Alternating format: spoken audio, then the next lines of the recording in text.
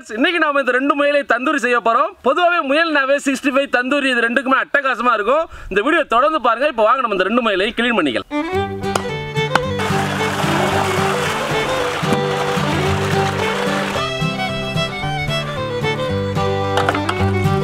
Chicken mutton இதுக்கு நம்ம மஞ்சத்தூள் போட்டு பெருசாக இது கவுல் அடிக்காது. ஆனால் அந்த முயலை பார்த்தீங்கன்னா கண்டிப்பாக நம்ம மஞ்சத்தூள் போட்டு அலசி ஆகணும். இல்லாட்டி நமக்கு வெடுக்கு வாடை அடிக்க ஆரம்பிச்சிடும் அதே போல் இன்னைக்கு நம்ம ரெண்டு முயலுக்கு ஒரு மசாலா தான் இந்த வீடியோவில் சொல்லியிருக்கோம். நீங்கள் ஒரு முயலில் செஞ்சீங்கன்னா இந்த மசாலாவில் பாதியை போட்டுக்கோங்க. இப்போ முயலுக்கு மசாலாவை ரெடி பண்ணிக்கலாம் வாங்க. இந்த ரெண்டு முயலில் மஞ்சத்தூள் போட்டு நல்லா அஞ்சாறு தடவை அலசி உள்ள மசாலா சாரதுக்காண்டி கீறி வச்சுருக்கோம்.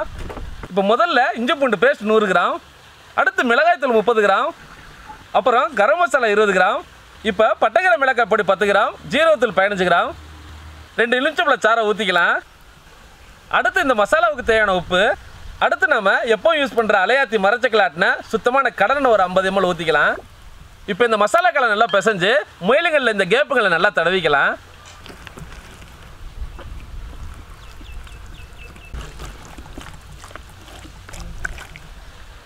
முயலில் அயன் புரோட்டீன் ரொம்ப அதிகமாக இருக்கும். அதே போல் கலோரி கொழுப்பு ரொம்ப கம்மியாகவே இருக்கும். பாடி ஃபிட்னஸை மெயின்டைன் பண்ணுறவங்க கண்டிப்பாக உங்கள் உணவில் இந்த முயல் கறி அதிகமாக சேர்த்துக்கங்க.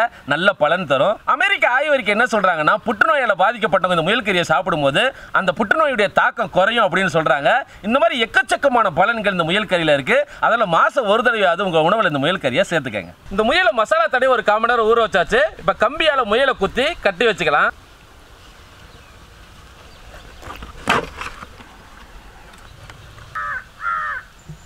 அவ்வளோதான் இந்த மாதிரி ரெடி பண்ணிக்கோங்க. இப்போ தந்தூரிக்கு அடுப்பை செட் பண்ணிக்கலாம்.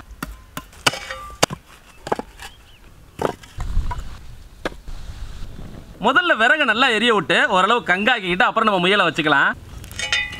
இப்போ முயலை வச்சுக்கலாம்.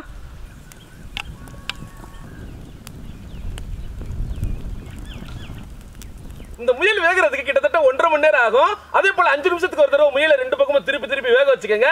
இப்போ இந்த முயல் ரெண்டு பக்கமும் நல்லா வெந்ததும் அதை அப்படியே எடுத்து சுட சுட சாப்பிட்டோம்னா ஆகா சுவையான முயல் தந்தூரி ரெடி முயல் அப்பப்போ என்ன தடவிக்கங்க?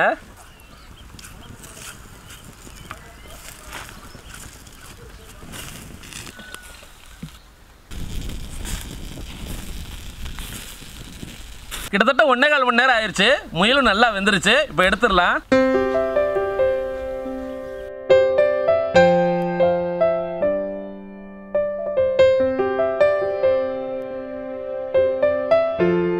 முயல் தந்தூரி ரெடி ஆயிடுச்சு வாங்க நம்ம டேஸ்ட் பண்ணலாம்.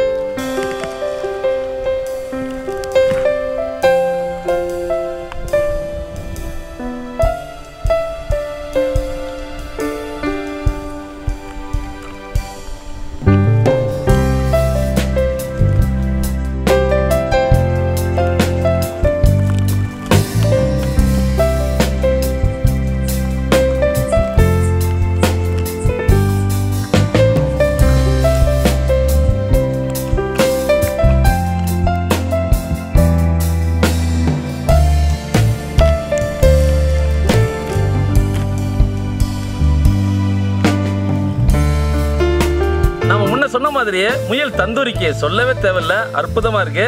ரொம்ப சிம்பிளா உங்க வீட்டு பக்கத்துல செஞ்சு பார்க்கலாம். கண்டிப்பா இதை ஒரு தடவை ட்ரை பண்ணி பாருங்க.